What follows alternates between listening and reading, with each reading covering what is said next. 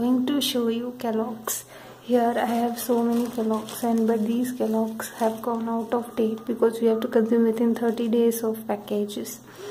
But I'll show you what happens when any food uh, crosses its uh, date of uh, you know expiry. See you can see some kind of insects have started roaming inside you know these things comes out and you can see these Kellogg's having some yellow worms in it like see?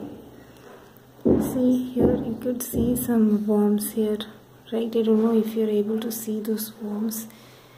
Mm, I will break some some more some few.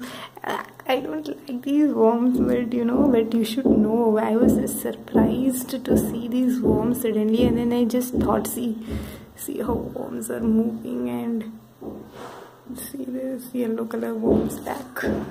It's fallen somewhere. So friends uh, just don't if it is even one day out of expiry date just throw this away okay? This is just for an information video. Thanks for watching this video. Thank you friends